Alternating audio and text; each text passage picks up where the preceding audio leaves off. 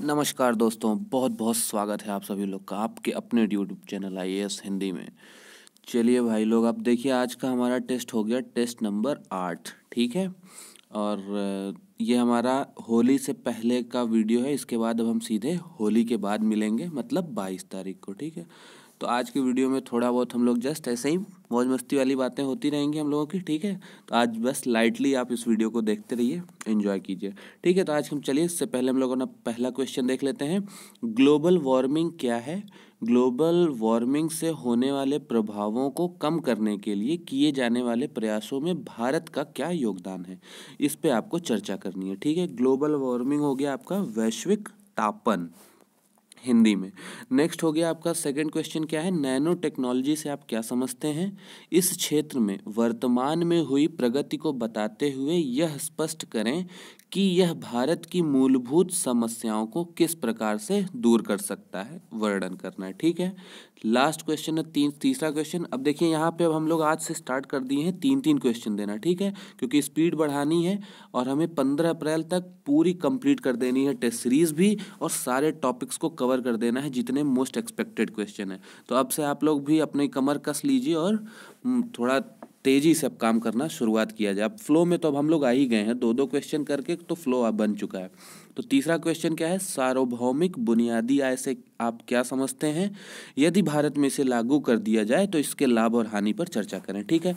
तो ये हमारा तीन क्वेश्चन हो गया। टेस्ट नंबर एट का। तो आज उन्नीस तारीख हो गई। आपको उन्नीस, बीस और इक्कीस, तीन दिन का समय भी मिलता है। तीन दिन के समय में आप लोग आराम से लिखिए और बाईस को हम अपना नेक्स्ट टेस्ट लेंगे, ठीक है? तो और देखिए अब क्या है कि अब जैसे होली भी है बीच में तो आपको तीन क्वेश्चन भी लिखना है तो अब ऐसा नहीं कि मतलब आप लोग बस होली ही खेलते रह गए, ठीक है? होली तो खेलना बहुत ज़रूरी है, मौज मस्ती करना एकदम ज़रूरी है, ठीक है? और इस आंसर को भी लिखना लेकिन ज़रूरी है, क्योंकि भाई एग्ज़ाम भी देना है तो पहले आप होश हवास में अपने, होश हवास में ही आंसर को लिखिएगा। और फिर ये नहीं कि अब होली है तो सर कुछ भी करके लिख के बस भेज दिए और फिर बोले कि सर होली है, बुरा न मानो। ऐसा कुछ नहीं होगा, ठीक है? आपको इन तीन क्वेश्चन को प्रॉपर तैयार करके फिर लिखना है। एक तो ये देख लीजिए, तीनों टॉपिक बहुत ही इंपॉर्टेंट है, क्योंकि ग्लोबल वार्मिंग और इसमें भारत के लिए क्या प्रयास हैं, वो बहुत इंपॉर्टेंट है आपका। नेक्स्ट नैनो टेक्नोलॉजी एंड उसके यूजेस बहुत ही इंपॉर्टेंट टॉपिक क्वेश्चन आपको देखने को मिलेंगे हर हाल में. दूसरा यूनिवर्सल बेसिक इनकम तो ये तीनों ही टॉपिक बहुत ही इंपॉर्टेंट हैं हॉट टॉपिक हैं. इनमें से आपको एक क्वेश्चन देखने को ज़रूर मिलेगा. तो चलिए अब हम अपने सबसे इंपॉर्टेंट और नेक्स्ट पार्ट पे चलते हैं, जो कि है प्रीवियस जो टेस्ट हुआ था उसके डिस्कशन पे. तो देखिए इसका जो टेस्ट सेवन था, उसका पहला क्वेश्चन क्या था? क्या कर्ज माफ़ी और आरक्षण एक राजनीतिक मुद्दा बनकर रह गया है? वर्तमान परिप्रेक्ष्य में आलोचनात्मक परीक्षण करना था, ठीक है? परीक्षण करना था, ये भी ध्यान रखने की बात थी। देखिए एक एक शब्द के मायने होते हैं और उसको हमें समझना होता है। अच्छा एक चीज़ और आप लोगों से बोलना था कि आप लोग प्लीज़ कमेंट करके ज़रूर बताइए कि मतलब आपको इस सीरीज़ से कुछ फ़ायदा हो भी रहा है कि नहीं? तो मतलब आपके जो भी राइटिंग स्किल थी, उसमें इम्प्रूवमेंट हुआ है कि नहीं? मुझे पूरी उम्मीद है, मुझे आशा है कि जो भी जिस भी स्टेज पे था, जो भी अपने जिस भी स्टेज पे था राइटिंग स्किल के, मुझे ऐसा लगता है कि वो निश्चित है, उसमें उसके इंक्रीमेंट ज़रूर हुआ होगा। कुछ ना कुछ उन्हें ज़रूर इस सीखने को मिला होगा। तो प्लीज़ आप लोग ज़रूर कमेंट करके बताइए, ताकि हमें भी पता चले कि हाँ आप लोगों को लाभ हो रहा है, हमारा जो प्रयास है, वो अपनी सफलता की ओर अग्रसर है। ठीक है? प्लीज़ ज़रूर आप लोग कमेंट करके बताइएगा। तो देखिए, इसमें इसको समझना क्या था? सबसे पहली चीज़ तो आलोचनात्मक परीक्षण करना था। फ़र्स्ट थिंग फिर उसके बाद ये सिंपल सा डायरेक्ट आपसे क्वेश्चन आपके व्यूज़ जानने की कोशिश कर रहा है। और ये तीसरी चीज़ ये ध्यान रखने की बात है कि ये एक जीएस का आंसर है। ठीक है? ये तीन चीज़ें आपको बहुत इंपॉर्टेंटली समझना पड़ेगा। तो ठीक है, हम अब इस क्वेश्चन को समझते हैं और पहले समझेंगे, तभी देखेंगे कि हमको लिखना क्या पड़ेगा। तो आपसे अगर पूछ रहा है कि क्या कर्ज माफ़ी, अभी जस्ट कर्ज माफ़ी पे आते हैं, इसको अभी रोक देते हैं तो क्या कर्ज माफ़ी एक राजनीतिक मुद्दा मुद्दा बन के रह गया है? तो आप बोलेंगे यस ठीक है? जस्ट अभी हम आपसे जस्ट पूछ रहे हैं। अगर जो कोई कहा कि हाँ ये एक सिर्फ़ राजनीतिक मुद्दा बनकर रह गया तो नेक्स्ट क्वेश्चन बनता है वाई क्यों? ऐसा आपको क्यों लग रहा है ना? तो आप वाई का आंसर दोगे क्योंकि जो जो उनकी समस्याएँ थी किसानों की जिसकी किसानों का ही तो कर्ज माफ़ी हो रहा है यहाँ किसान कर्ज माफ़ी की ही बात की जा रही है फार्म वे आ, लोन वेवर्स का। तो क्यों क्यों ऐसा आपको लग रहा है कि ये सिर्फ़ राजनीतिक मुद्दा बन गया है? क्योंकि किसानों की जो समस्याएँ हैं वो आज भी उसी तरह बनी हुई हैं और ये जो कर्ज माफ़ी हो रहा है उससे उन्हें कोई लाभ नहीं हो रहा है। तो आप यहाँ पे क्या बताएँ? किसानों की समस्याओं को, ठीक है? ये ध्यान रखिएगा, एक ये प्रोसेस है समझने का क्वेश्चन को, और यही आपका फॉर्मेट तैयार करेगा आंसर का। तो ठीक है, अगर आपने बोला कि हाँ ये एक राजनीतिक मुद्दा है तो आप बताएँगे कि क्योंकि किसानों की समस्याएँ जो हैं, वो ज्यों की त्यों बनी हुई हैं, जिस वजह से यह एक सिर्फ़ राजनीतिक मुद्दा, उन्हें कोई लाभ नहीं हुआ। तो हमें क्या बताना पड़ा? किसानों की समस्या, ठीक है? ध्यान रखिएगा। नेक्स्ट पे आते हैं। अब कोई बोला कि नहीं, ये सिर्फ़ राजनीतिक मुद्दा नहीं है। इस तो फिर उसको पूछा जाएगा, क्यों? तो वो बताएगा, क्योंकि इससे बहुत सारे लाभ हुआ है। किसानों को इससे बहुत लाभ हुआ है जो जो उनके कर्ज माफ़ी की वजह से। तो आप वहाँ पे क्या बताएँगे? कर्ज माफ़ी से क्या लाभ हुआ है? ठीक है बेनिफिट्स जो हुए हैं बेनिफिट्स जो हुए हैं, वो बताना होगा किसका? कर्ज माफ़ी का बेनिफिट्स बताना। और वहाँ समस्या किसकी बतानी थी? किसानों की। तो आप ये दोनों बात समझ गए?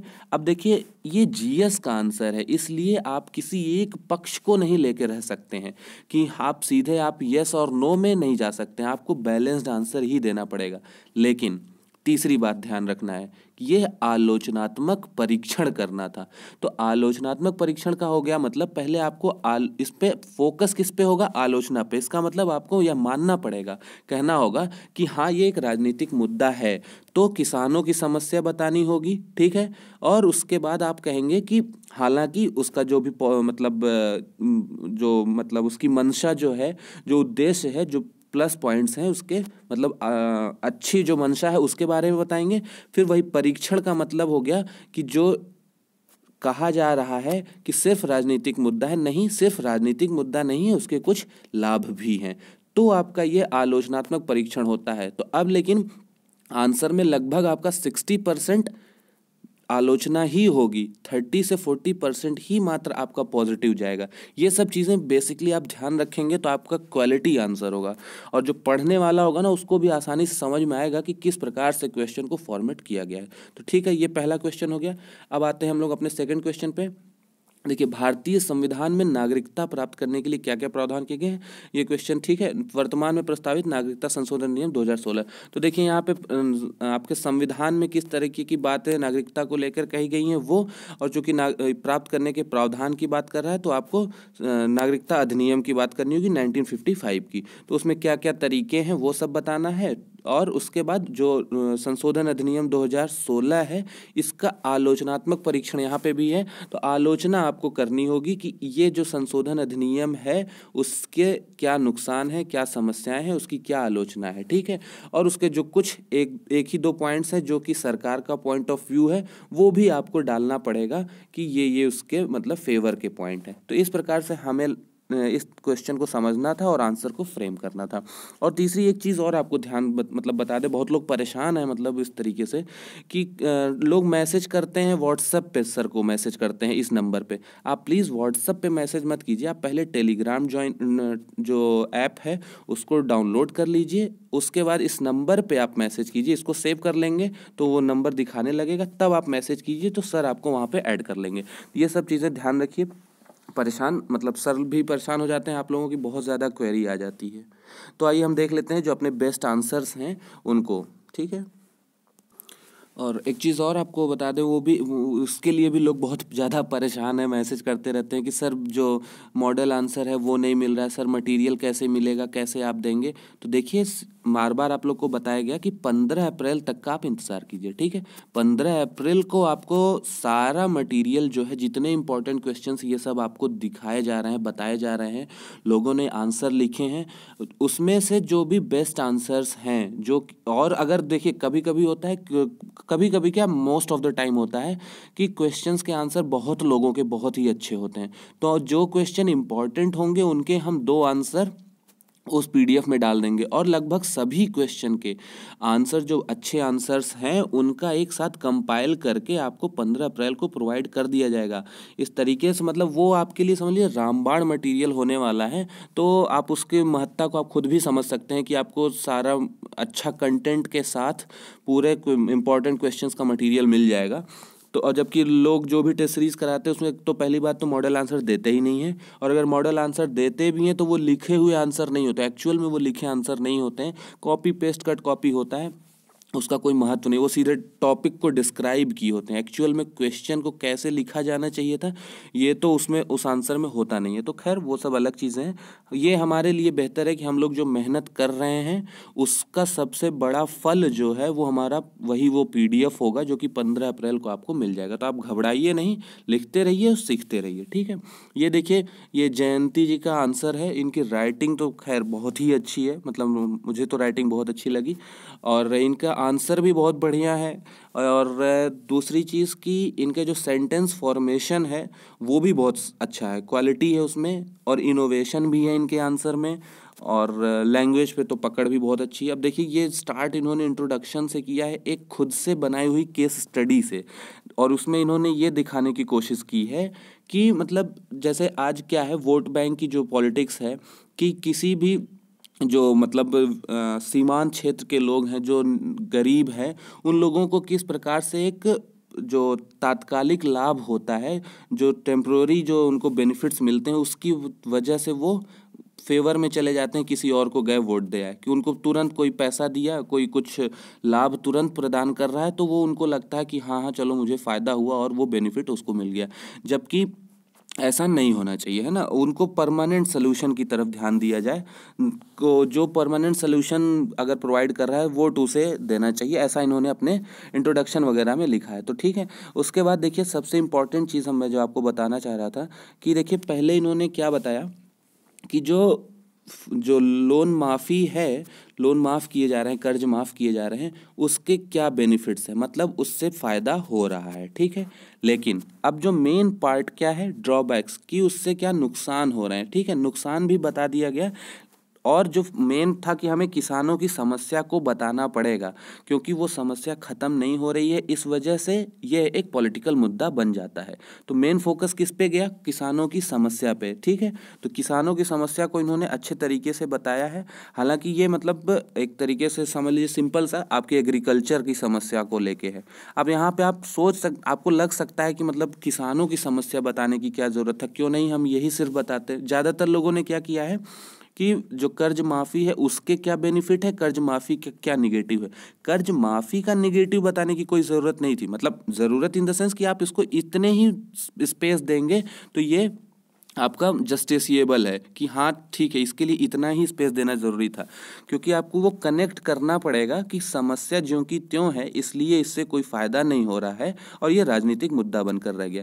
ठीक है, इन्होंने एक सेपरेट तरीके से लिख दिया है, वो भी ठीक है, लेकिन इसको आपको कनेक्ट करना पड़ेगा, ठीक है? चलिए नेक्स्ट देखते हैं सेम उसी तरह से प्रोसेस लिया रिजर्वेशन वाले मुद्दे पे। ये हम उसको आपको सिर्फ़ कर्ज माफ़ी पे समझाएँ प्रोसेस सेम है कर्ज उस पर भी। देखिए सेम वही इन्होंने भी किया है रिजर्वेशन सिस्टम पे पहले एडवांटेज बताया कि वो किस प्रकार, किस जो, किस उद्देश्य के लिए आया था और उसके बाद उसके नुकसान बताया गया कि उसके आने की वजह से भी कितने नुकसान हुए हैं और उससे कोई फ़ायदा नहीं हुआ है और जो सरकार कर रही है वो सिर्फ़ वोट बैंक के लिए कर रही है। और देखिए यहाँ पे आपका ये कोर्ट के जजमेंट्स को भी यूज़ किया गया है। तो इस प्रकार से ये मतलब एक बैलेंस्ड और बहुत काफ़ी कंटेंटफुल बेहतर आंसर है। ठीक है कंक्लूज़न भी इनका काफ़ी अच्छा था। तो इस प्रकार से आप देख सकते हैं, ये आंसर जयंती जी का मेरी समझ से काफ़ी अच्छा मतलब एकदम सटीक आंसर मैं कह सकता हूँ ये। ठीक है, हम नेक्स्ट क्वेश्चन देख लेते हैं। ये देखिए, फरहाद आलम जी का आंसर है सिटीजनशिप वाले क्वेश्चन पे।